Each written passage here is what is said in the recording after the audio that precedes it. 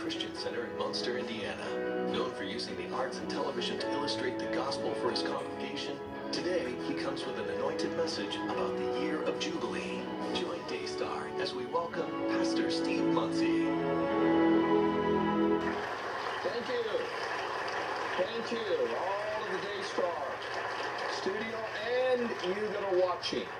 If I was to tell you that in the next 24 hours, because of the season that we are in, that God was that anxious to start, to do, to finish, to complete your miracle. What is so interesting is that this period of time, at this moment of this live telecast, is that we are in the stage of the month in which God says, I'm going to give you double portion. When you read in Joel, he says, In the first month I'll give you the former and the latter. He explains that, and he says, In the first month, this is the first month. You've heard a lot in these hours and in the last few days about blood moons and jubilees and blowing of the trumpets and Rosh Hashanah and Day of Atonement. That all just emphasizes that right now is the time in which God is actively wanting to do a miracle for you. Now, I'm going to tell you what's going to happen because what is on my my faith and my faith that is within me to believe for you is that God is going to do in the next 24 hours and you say that's awful bold of you to say on live television there with uh, Marcus and Joni Lamb and a live audience and and and and on this network. Why would you actually say that in the next 24 hours? You would utter the next 24 hours that God would do something. And you said a miracle simply because the Bible says if you have the faith to prophesy or to proceed or to believe, then speak it. So I'm going to have the faith to believe that three things are going to happen. Because this is the season, we claim it as Jubilee. We claim it as the time in which God says, I'm going to give you the double portion. This is the time. Something is going to happen to your child. Something is going to happen to a family member in the next 24 hours. It could be two members, it could be three. But there's going to be something happen in the next 24 hours. Number two, there is a miracle that is going to happen that you that are watching me, you have been praying for. You have been believing. You have been saying, God, I need a miracle to happen to me physically. You, you have been praying that. I'm looking straight at you, and you said, You're saying, while I'm saying this, you're saying, Wow, that's exactly right. I have been believing God.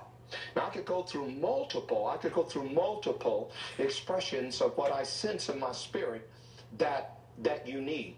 But I just want to captivate and tell you that in the next 24 hours of this first month, of blood moons that have appeared, of Rosh Hashanah that has sounded, which simply means the head of the year, which a day of atonement which has declared that this season of Feast of Tabernacles, and now we're in the first month. And by the way, this month continues almost the next 15, 16, 17 days of this live telecast. But I am telling you that at this moment, God, in the next 24 hours, is going to touch your family, is going to touch you physically. You, you, you need a you, you need a physical touch. There's a, there's a supernatural thing that's going to happen in the next few moments. Then, here's my faith, here I go. After all, the Bible says we can call those things that are not as though they were. I am going to take my faith. Could I get anybody? Could I get anybody in the studio? If I could just get one person in the studio to agree with me, we're all to believe that in the next 24 hours something is going to happen to the person. If that's the case, could you just wave your hands because the audience can't hear you because you're not mic'd up, but they can see the movement. So I've already got, I've already got more than two people that agree. And the Bible says when two agree, there is a law. When two agree in the name of Jesus, it shall be done. Third thing that's going to happen in the next 24 hours. Third thing that's going to happen in the next 24 hours is that there is going to be a sudden breakthrough on your finances. Three things happen in the year of Jubilee. Now, this is going to happen in the prayer in the next few minutes that I'm going to pray. We're going to pray in the next few moments. And what's going to happen is is that we're going to believe that in the next 24 hours there's going to be a jolt, there's going to be a letter, there's going to be a phone call, there's going to be something happen to your finances and it's all going to be surrounded about you getting out of debt in the next 300 days but it's going to start in the next 24 hours. Can i get somebody to get excited about that? Push the clap button clap your hands in the audience. Oh this is exciting. Now why do you say that why do you say that simply because this is the month. God promised us in Joel. He said in Joel, he said, he said these words. He says, I will give you the former and the latter rain in the first month. The first month is now while I'm talking. This is the first month of while I'm talking. As I'm as I'm speaking live today on Heart for Your uh, for Your World, I am telling you that this is the season in which God's ready already promised. In fact, there are seven blessings in which he's going to release in the next 365 days. Double portion, financial abundance, all found in Joel 2. Restoration, something that's been stolen from you is getting ready to be restored back to you. Miracles are going to happen. Things that God is going to do that you have no idea because God's able to do abundantly and above all we ask or even think. He's going to bring his presence, blessings on your family, and deliverance. But I want right now, in the name of Jesus, in the next few moments, in the next few moments, I'm going to pray. Marcus is going to pray with me. And in the next few moments, just in, in moments from the way I'm talking, we're going to release a prayer and we're going to believe for three things that's going to happen in the next 24 hours because this is the season, the first month. And it's not over. It's not over. We're continuing the first month as we're speaking now through the Feast of Tabernacles and through what God is doing with this double portion that that God is going to heal you in your body. You've been praying for that. You've been praying for that. But that's going to happen in the next 24 hours. The next thing that's going to happen is that there is someone in your family you've been believing for. They are going to be dealt with by God, and God's getting ready to do a, miracle Amen. in your family member. The third thing he's going to do, there is going to be a miracle in your finances, and I'm going to declare this is your year, you're coming out of debt. Let me just tell you the fastest miracle that I've ever experienced looking at in the Bible, true story in the Bible, the fastest miracle that I have ever witnessed happened in the book of Kings. And so I'm going to tell a story to build your faith. I've captivated you in, in what God is getting ready to do. You are about to experience something you've never experienced in the next 24 hours, and it's going to take me just a few moments to build your faith. Then we're going to pray something is about to happen on live television today all over the world on this network. But right now, it is no coincidence that you have just tuned in and you're glued to the screen because you you are the person that says, I am the one that needs the financial breakthrough. I am the one that needs the miracle in my body. And I'm the one that's been praying for someone in my family. Now watch. God shows us something in his word. The Bible says, the Bible says, and they're going to give me, we're going to do a, I'm going to do an illustrated sermon, and you got to watch this, and I'm going to play a little music behind me, and I'm going to do story time to build your faith. Then I'm going to pray, and then God is going to release that upon your life. The Bible talks about there was a there was there was a prophet, and and this prophet just like me standing here in front of this camera.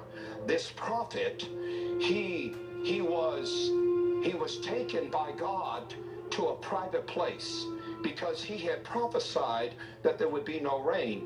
And so famine had spread through the land. Cows were dying, horses were dying, all kinds of things were happening. So the prophet was in a place. Now that he had prophesied and spoke, just as I call those things that are not as though they were over your life. So did this prophet who prayed to the same God that I'm going to pray to in the next few minutes over your life. The Bible says that he was he was in a place and God was taking care of him. But the rest of the land was suffering the consequences of famine. It was so bad that people that people were watching the livestock die and eating livestock. The Bible says that that there was a city, there was a city called Zarephath, and there was a woman there in which she was running out of money and food. And she had a son, and she was a widow. She was there in that city. Then God, watch this, this is very important for the three things God's getting ready to do for you. Remember, He's getting ready in the next 24 hours to touch, to touch your debt. A financial miracle is getting ready to happen in our prayer in the next few moments. Number two, what you've been praying for in your body, the, the pain, the sickness, whatever, whatever you have been believing for, in the next 24 hours when we pray, there's going to be a miracle. And number three, there's someone in your family that you've been believing God for.